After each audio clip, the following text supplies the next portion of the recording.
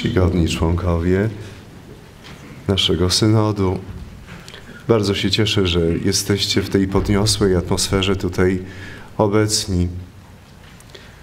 Dziękuję za te słowa życzenia, ale także codzienną modlitwę w mojej intencji i wspólne pielgrzymowanie, którego wyrazem jest nasz piąty synod diecezji tarnowskiej. Wiemy, że sobory i synody w Kościele dokonywały wielkich zmian. Zawsze dążyły do tego, aby na nowo odkryć obecność Chrystusa w Kościele, aby tworzyć wspólnotę Kościoła na wzór Trójcy Przenajświętszej. Z taką nadzieją podchodzimy do Piątego Synodu Diecezji Tarnowskiej. Działanie Ducha Świętego jest mocne, ale wszystko zależy od nas. Czy z większym zaangażowaniem ten wielki, to wielkie wydarzenie podejmiemy, czy będziemy właśnie współpracować z działaniem Ducha Świętego, podejmując różne wyzwania, przed którymi stoi także nasz Kościół Tarnowski.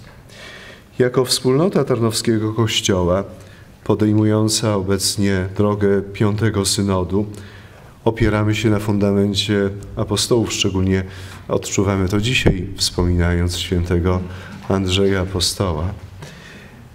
Zachowujemy i przekazujemy ich naukę, a także jesteśmy prowadzeni przez ich następców. Jest to nasze wielkie dziedzictwo, którego nie tylko strzeżemy, ale również chcemy je przekazać kolejnym pokoleniom. Na drodze synodalnej poszukujemy jak najbardziej skutecznych form docierania do współczesnego człowieka z przekazem wiary, między innymi poprzez szeroko zakrojoną katechizację. Tej właśnie kwestii poświęcona jest dzisiejsza trzecia sesja plenarna. Dzieło katechizacji jest istotnym zadaniem Kościoła. Poświęcamy mu wiele uwagi.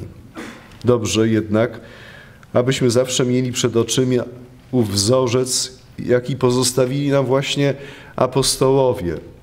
Poszli na cały świat, by głosić naukę Jezusa, nie mając w ręku jeszcze wtedy ani katechizmu, ani podręcznika dogmatyki czy teologii moralnej. Przekazywali natomiast naukę, która stała się częścią nich samych. Świadczyli o tym, co sami przeżyli i w ten sposób rozpalali w innych wiarę, która najpierw rozpaliła ich serca. Niech ten apostolski wzorzec będzie dla nas zawsze istotnym punktem odniesienia.